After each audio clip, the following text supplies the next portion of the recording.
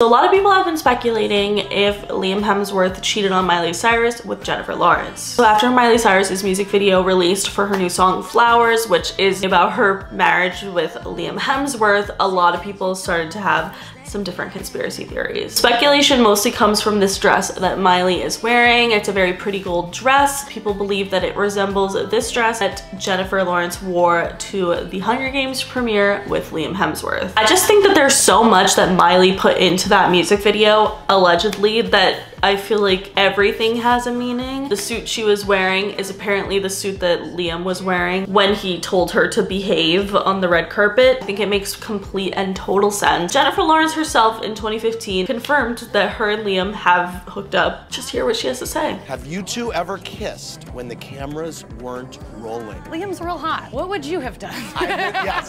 I would say yes. yeah.